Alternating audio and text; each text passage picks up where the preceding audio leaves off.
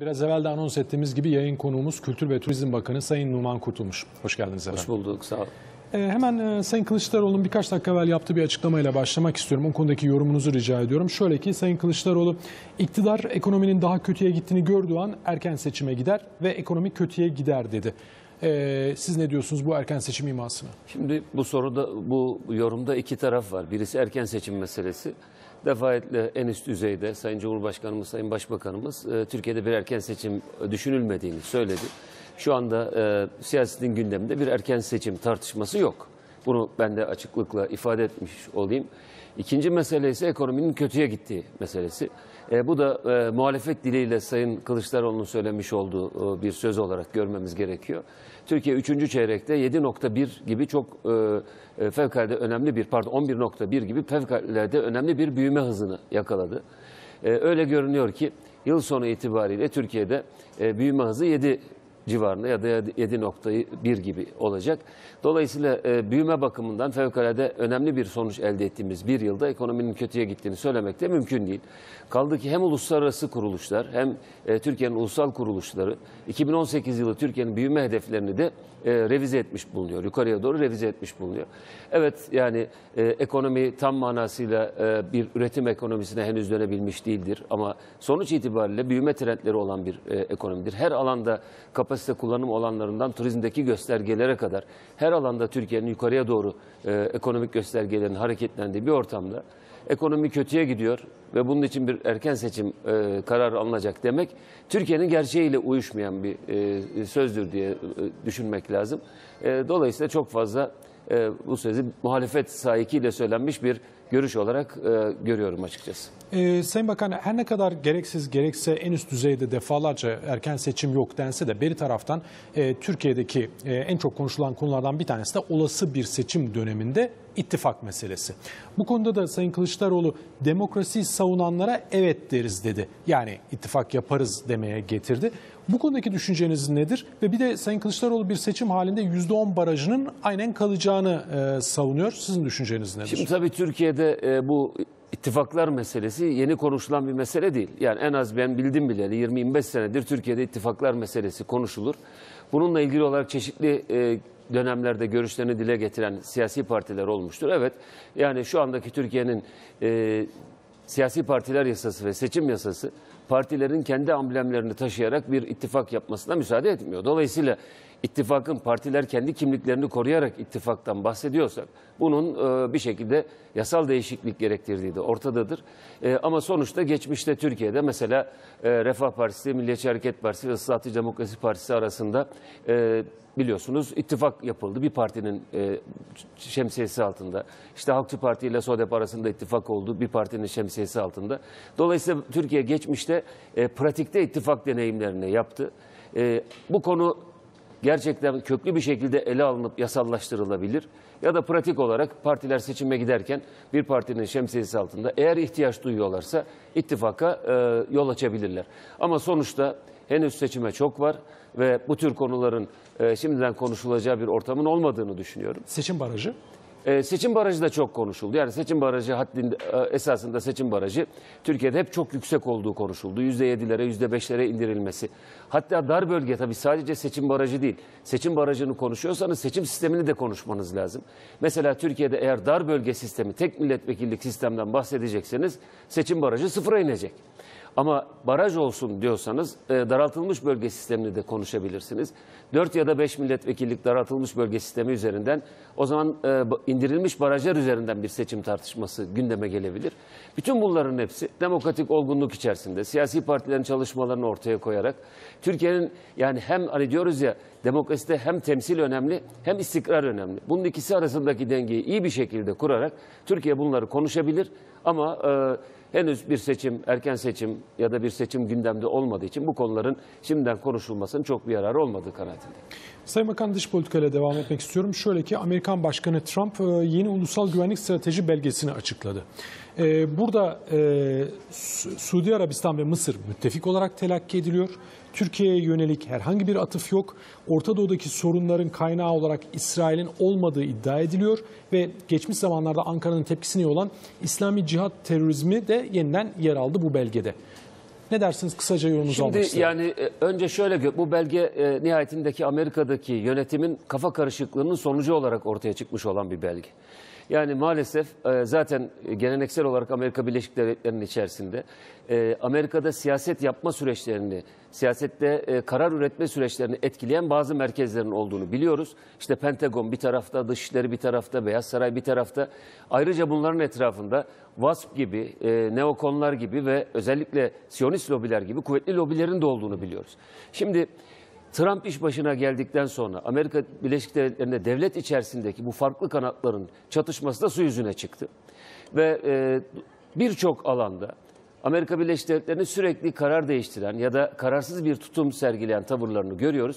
Ben açıkçası bu strateji belgesinin de e, bir müddet sonra ya biz bunları niye yay- yayınladık diyebilecekleri bir karışıklığın, fikri karışıklığın, e, tutum karışıklığının sonucu olduğunu düşünüyorum. Allah aşkına hem demokrasinin e, olduğunuzu söyleyeceksiniz hem de e, iş başına askeri bir darbeyle gelmiş olan Mısır'daki askeri yönetimi stratejik müttefik olarak kabul edeceksiniz. Hem diyeceksiniz ki Orta Doğu'da barışın e, sağlanabilmesi için Filistin-İsrail arasında barışın sağlanması lazım. Bunun için de iki devletli bir çözümden yanayız diye bunu bir devlet politikası gibi lanse edeceksiniz. Aynı zamanda da iki devletli bir çözümü ortadan kaldıran İsrail'in saldırgan tavrını onaylar mahiyette Kudüs'ü başşehir ilan edeceksiniz. Ve İsrail'in bütün bu yayılmacılığını bir kenara bırakarak İsrail Orta Doğu'da çıba- çıbanbaşı değildir diyeceksiniz. Bunların hepsi kafa karışıklığının e, sonucudur. E, İslami terör meselesine gelince kategorik olarak reddettiğimiz bir şeydir. Kendisini Müslüman olarak telakki eden, İslam'la hiçbir bağı olmayan bir takım çevreler, bir takım gruplar terör hadiselerinin içerisine girebilirler. Aynen başka din mensuplarının terör örgütlerini kurdukları ve yönettikleri gibi. Dolayısıyla terör asla İslam kavramıyla yan yana gelmez. Hele hele kendisi çok kültürlü, çok dinli bir e, yapının e, sahibi olmakla övünen Amerika Birleşik Devletleri'nde, kendi içinde de vatandaşı olan milyonlarca, on milyonlarca Müslümanı olan bir ülkenin e, stratejik belgesinde İslami terör kavramının yer alması kabul edilemez. Oradaki Amerikan vatandaşı olan Müslümanları da rencide eder. 1 milyar 700 milyon Müslüman dünyasını da rencide eder. Ee, İslam dünyasının içerisinde teröre bulaşmış bir takım kişiler olabilir. Çok çok azınlıktır. 1 milyar 700 milyon Müslümanın içerisinde kaç tane teröre bulaşmış insan var? Birkaç bin kişi, deyin ki birkaç on bin kişi. Bunun üzerinden İslam'ı topyekun bir etiketle, terörle yan yana getirmek haksızlıktır, insafsızlıktır. Bunu da kabul etmek mümkün değil.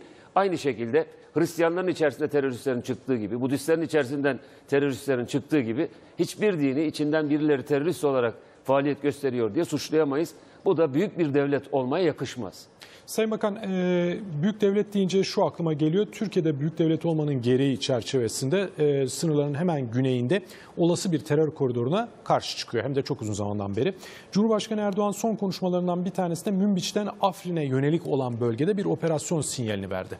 Fakat beri tarafta e, terörist olarak telakki ettiğimiz PYD'nin hem Rus hem Amerikan askeri yetkililerle fotoğraflarına şahit oluyoruz. Bu şartlarda bir operasyonun çapı ve zamanı sizce nedir? Bir de Suriye Devlet Başkanı Esad'ın PYD'yi vatan haini ilan etmesi açıklamasını siz nasıl yorumluyorsunuz? Şimdi e, hep bizim söylediğimiz bir şey var. Orta Doğu'daki bu savaşlar e, böyle masa başında bir bilgisayarla savaş oyunu oynamaya benzemiyor. Buranın labirentleri karışık labirentler. Buraya girenler bir şekilde nasıl çıkacaklarını e, yolu bulamayabilirler.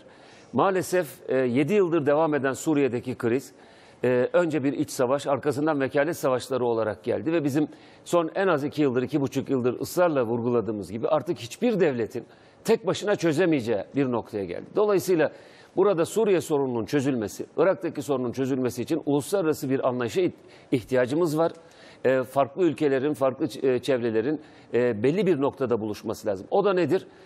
Silahlı terör gruplarının hiçbirisinin arkasında durmadan herkes Suriye halkının kendi özgür iradesini kurabileceği e, bir demokratikleşme sürecinin önüne açması lazım. Burada Türkiye'nin e, gerçekten oyun kurucu, siz sorunuzda da söylediğiniz, oyun kurucu bir ülke olarak başlatmış olduğu Astana süreci önemliydi. İlk başladığında kimsenin ihtimal vermeyeceği bir süreçti ama bugün özellikle e, Münbiç bölgesinde e, ve ardından Afrin bölgesinde oranın bir şekilde silahlardan temizlenerek e, halkın oraya geri dönmesini sağlayacak adımların atılması için Türkiye, İran ve Rusya arasında bir belli bir anlayış ortaya çıktı. E, şimdi e, bir önemli Türkiye'nin oyun kurma bakımından ortaya çıkardığı sonuçta e, yine İran ve Irak merkezi hükümetiyle çok sıkı diyaloglarla Irak'ın kuzeyinde oluşturulacak olan yeni bir devletin yani sizin dediğiniz gibi sahile kadar çıkabilecek olan bir terör devletinin başlangıcı olabilecek inisiyatifin yani Kuzey Irak referandumunu boşa çıkaran adımın atılmasıydı. Türkiye bu bölgede çok taraflı diplomatik ilişkilerle işte e, günün şartlarına göre e, burada e, kendi önceliklerini de ortaya koyarak yeni bir siyaset geliştirmeye çalışıyor. Bu siyasetin bizim için bir numaralı önceliği bölgenin daha fazla bölünmemesidir bölgedeki terör gruplarının bir şekilde temizlenmesidir ve hem Irak'ın hem Suriye'nin toprak bütünlüğünün sonuna kadar korunmasıdır. Bu çerçevede biz başından beri tutumumuzu bu şekilde sergilerken bazı ülkeler e, tavır değiştiriyorlar. Yani Suriye rejiminden bugün PYD vatan hainidir e, şeklinde sözlerin gelmesinin çok bir anlamı yok. O zaman e, PYD'nin bölgede bu kadar çok yayılmasının önünü açanlardan birisi de Suriye rejimi değil miydi? Geçmiş dönemlerde çok ciddi işbirlikleri e, söz konusu olmadı mı? Aynı şekilde söylediğiniz gibi Amerikalıların ve Rusların da PYD'ye destek verdiğini biliyoruz. Onu bırakın DAEŞ denilen devasa bir örgütten bahsediliyordu. 80-90 bin silahlı gücü olduğundan e, bahsediliyordu. Bu örgüt mesela Rakka'dan elini kolunu sallayarak çıktı da nereye gitti? Kim bunları elini kolunu sallayarak çıkardı? Yani vekalet savaşları üzerinden kullanılan örgütler sahadan bir şekilde çekiliyor, başka bir tarafa sürülüyor. Bunlar yanlış şeyler. Bunlar hiçbir şekilde demokrasiye hizmet etmez. Bu bölgenin yeniden güçlü bir şekilde yaralarını sarması sürecine e, katkıda bulunmaz. Herkesin tereddütsüz bir şekilde terör örgütlerinin arkasından çekilerek meşru unsurlarla beraber bölgenin geleceğini nasıl inşa edecek bunu konuşması lazım. Peki Esad'ın açıklaması PYD'nin vatan haini ve Amerika Birleşik Devletleri'nin çıkarlarına hizmet eden bir örgüt olduğuna dair açıklaması Türkiye ile Suriye'nin Şam yönetiminin arasında bir yakınlaşmanın başlangıcı olabilir mi? Böyle bir olasılık görüyor musunuz? Yani onu söylemeye çalışıyorum. Yani Orta Doğu'da sürekli yerler, pozisyonlar değişiyor. Yani dün başka şey söyleyen e, Suriye yönetimi bugün başka bir şey söylüyor. E, yani bu e, kendisinin PYD ile olan ilişkisinden daha ziyade öyle anlaşılıyor ki e, PYD'nin e, bölgedeki işte Amerika e, güçleriyle daha yakın işbirliği yapmasından duyulan bir rahatsızlıktan kaynaklandığı anlaşılıyor. E, dolayısıyla yarın belki başka bir şey söyleyecek. Onun için bu sözü e, çok e, değişmez bir e, tutummuş gibi görüp ona göre hareket etmektense biz kendi pozisyonumuzu tahkim edecek. Yani Suriye'nin toprak bütünlüğünü koruyup korumak bizim için Suriye halkına yapacağımız en büyük yardımdır, en büyük destektir. Dolayısıyla burada herkesin bu noktaya gelmesi lazım. Terör örgütlerinin bir şekilde oradan soyutlanması, Suriye'de halkın kendi iradesiyle kendi geleceğini kuracağı bir rejimin önünün açılmasıdır. Terör örgütlerinin soyutlanması ibaresini kullandınız. Anlaşılan o ki bunun için de Türkiye'nin bir silahlı operasyonu gerekiyor gibi. Zaten en üst düzeyde de bu dile getirildi. Peki böyle bir operasyonun çapı ve zamanlaması konusunda sizin düşünceniz nedir? Bu tabii yani e, ulu orta söylenecek bir şey değil ama Türkiye başından itibaren e, biliyorsunuz Fırat Kalkanı operasyonunu yaparken de bunlar çok konuşuldu. Yeri zamanı geldiğinde bütün sınırları e, yine Türkiye'nin menfaatleri, milli menfaatleri çerçevesinde belirlenerek Fırat Kalkanı operasyonu yapıldı ve hem Türkiye nefes aldı hem de o bölgedeki Suriyeli kardeşlerimiz yeniden kendi şehirlerine, kasabalarına giderek normal hayatlarına dönmeye başladılar. Dolayısıyla yani biz başka birçok ülke için işte ismini saydık Amerika'sı için, Rusya'sı için, diğerleri için bölgedeki bu terör örgütleri kendi bölgesel menfaatlerini sağlamak için bir şekilde kontrol edecekleri, yönlendirecekleri araçlar olarak görünebilir. Ama bölgedeki terörün ortaya çıkardığı bu istikrarsız ortam Türkiye için bir e, milli güvenlik sorunudur. Dolayısıyla Türkiye bu Gereği kadar yakın bir milli güvenlik sorununa seyirci kalmaz.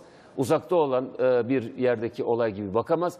Kendi yanında bitişik nizam yaşadığımız sokaktaki yan komşunuzda yangın çıkmıştır. Biz ona bir şekilde e, o yangının söndürülmesi için müdahale ederiz. Sayın Bakan son bir dış politika ardından turizmle ilgili sorulara geçeceğim. Ancak Amerika Birleşik Devletleri'nin e, Kudüs'ü İsrail'in başkenti olarak tanımasına karşı bunu geri çekmesine dair Türkiye'nin öncülüğü Birleşmiş Milletler Güvenlik Konseyi'ne verilen karar tasarısı Washington yönetiminin tavrı nedeniyle veto edildi.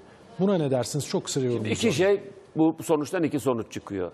Bir Amerika Birleşik Devletleri bu yanlış, haksız, e, efendim illegal, e, gayrimeşru kararı e, dolayısıyla yalnızlaşmıştır. Güvenlik Konseyi'nde sadece kendisinin e, oyu var. Şimdi inşallah Perşembe günü genel kurula geldiğinde de genel kurulda üçte iki çoğunluk belki daha büyük bir çoğunlukla Amerika Birleşik Devletleri'nin Kudüs'ü başkent ilan etme kararı bir şekilde e, uluslararası camia tarafından reddedilecektir. Birinci sonuç bu. Amerika Birleşik Devletleri yalnızlaştı bu kararıyla birlikte. Şimdi bundan sonra bunu nasıl düzeltecekler? Çok daha zor bir sürece girmiş oldular. Ama ikinci ve belki çok daha önemli bir sonuç. Yıllardır söylediğimiz artık dünya bu Birleşmiş Milletleri taşıyamaz. Birleşmiş Milletler e, yeniden yapılanmak mecburiyetindedir. Dünya beşten büyüktür dediğimiz şey bu. Yani orada beş ülkeden birisi dudağından çıkan yasa olacak.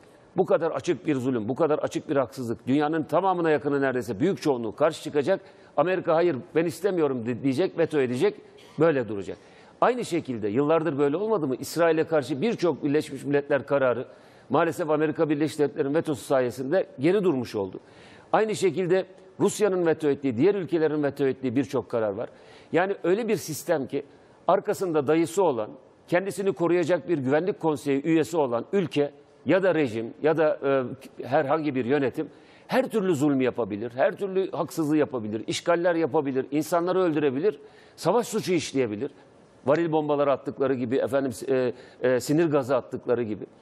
Bunlara karşı eğer Birleşmiş Milletler'de bir dayısı varsa hiçbir şey olmaz.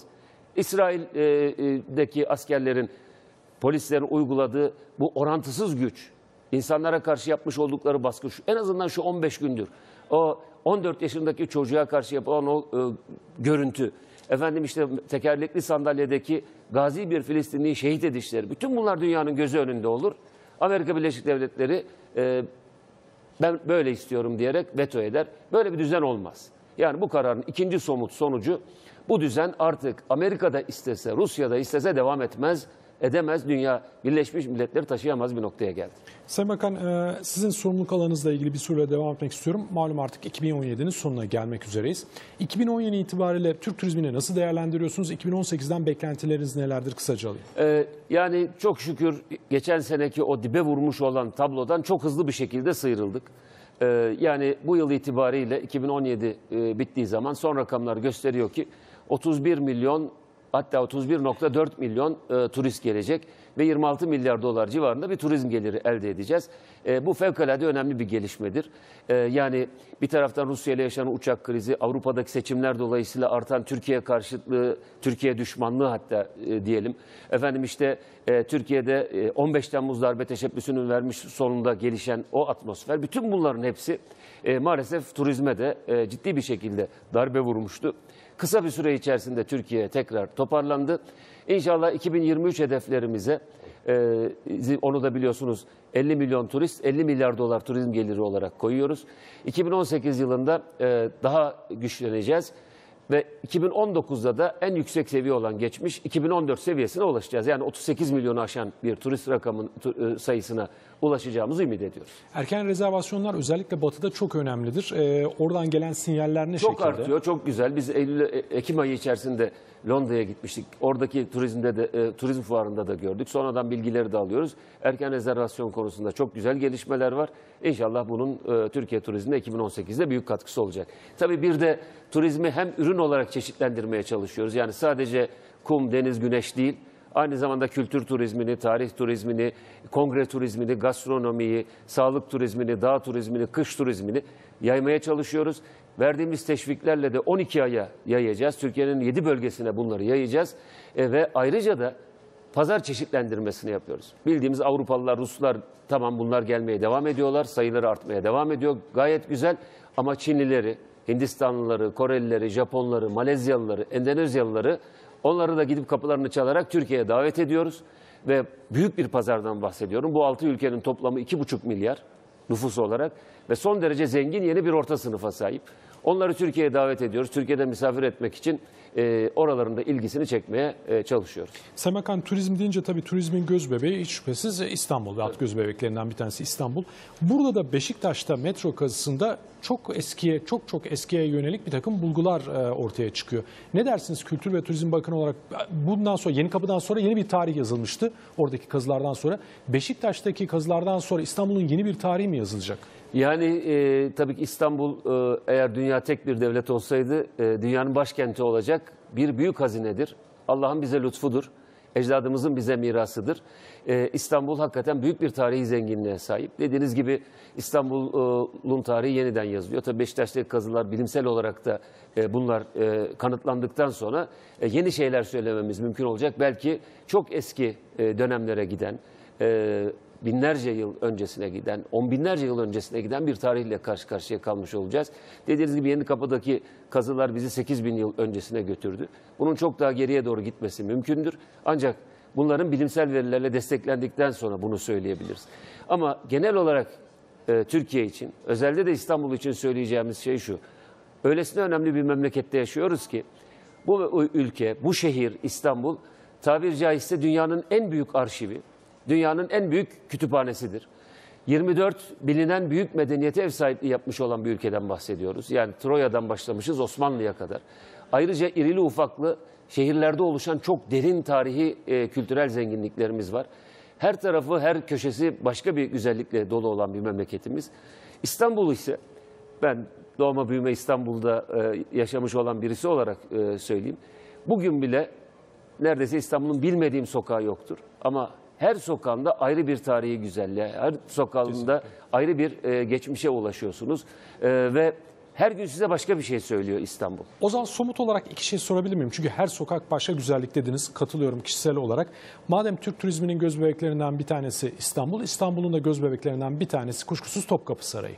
Topkapı Sarayı'nda son olarak Fatih Sultan Mehmet zamanından 15. yüzyıldan kalma bir hamam ortaya çıkarıldı.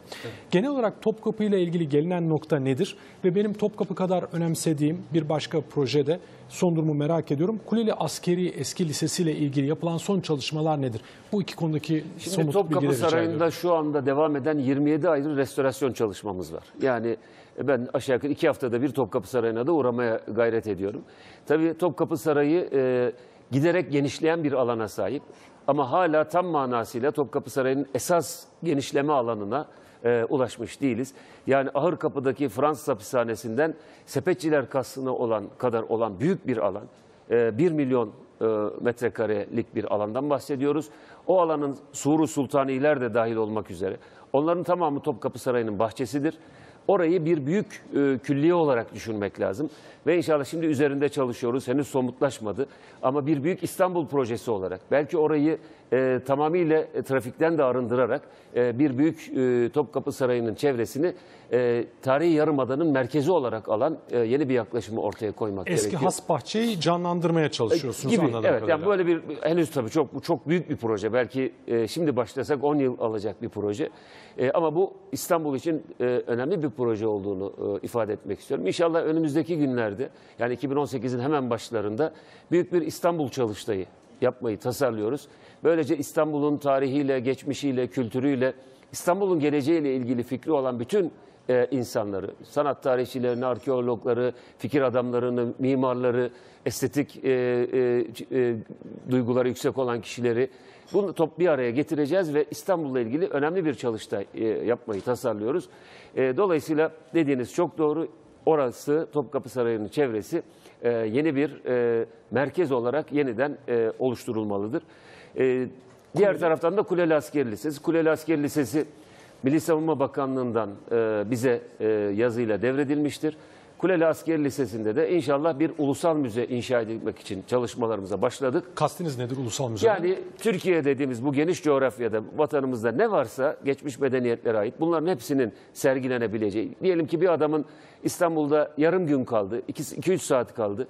Ya gidip şu e, Türkiye'nin, Türklerin tarihine ilişkin bir şeyler göreyim dediğinde gelip birkaç saat içerisinde gezebileceği ve hepsini bir özet olarak görebileceği bir büyük ulusal müze tasarlıyoruz. Bu da e, şu anda çalışma e, fas, e, aşamasındayız. Bununla ilgili de bütün e, fikri olan, görüşü olan e, hakikaten insanları bir araya getirip mükemmel bir projeyi ortaya koymaya çalışacağız. Ulusal müze derken 1071 öncesi Anadolu tarihi de dahil mi? Tabii yani bu topraklardaki bütün e, bu medeniyetlerin izini taşıyacak bir müzeden bahsediyoruz. Hititlerden, Lidyalılardan, Tabii. Frikyalılardan hepsinden. Tabii. Sayın Bakan vaktim daralıyor ama bir soru daha soracağım. Ee, Atatürk Havalimanı. Malum 3. havalimanı yapılıyor. Atatürk Havalimanı da hizmetten çıkacak. En azından belli bir bölümüyle çıkacak. VIP uçuşlar için e, yeniden hizmette kalacağı söyleniyor ama büyük bir bölümü herhalde yeni bir proje ev sahipliği yapacak. Bu konudaki sizin Yani düşünceniz bu neler? konuda herhalde bir son noktaya gelinmedi. E, yani bir son noktaya gelindikten sonra orada da e, önemli bir projenin ortaya çıkması mümkün. mümkün diyorsunuz. O zaman son olarak 2018 e, turizm beklentileriyle ilgili olarak rakam vermeniz mümkün. mü? Ee, yani şöyle söyleyelim 31.4 ile bitirdiğimizde yani Şöyle. en az 35 ve üstü olacağını düşünüyoruz. Eğer e, bek- şu ana kadar son 4-5 aydır gittiği şekilde giderse hatta daha da yukarıya çıkması mümkündür. Sayın Bakan çok teşekkür ediyorum vakit ayırdınız. Ben çok teşekkür ederim, sağ olun. Ancak herhalde söyledikleriniz arasındaki en heyecanlandırıcılardan bir tanesi gerçekten ihtiyacımız olan bir ulusal müze fikriydi. Ee, benim gönlüm bir de Boğaziçi Müzesi yapmanızdan geçiyor. İnşallah ona da vakit İnşallah. olur, imkan olur. Efendim yayın konuğumuz Kültür ve Turizm Bakanı Sayın Numan Kurtulmuş'tu. Vaktimiz el verdiğince oldukça geniş bir yelpazede sorularımızı yanıtladı. Müjdeler verdi. Biraz evvel de söylediğim gibi en önemlilerinden bir tanesi Kuleli Askeri Lisesi bir ulusal müze olacak. Benim kişisel temennim bir de Boğaziçi Müzesi olması. Yeniden görüşünceye kadar hoşçakalın efendim. İyi bir gün dileğiyle.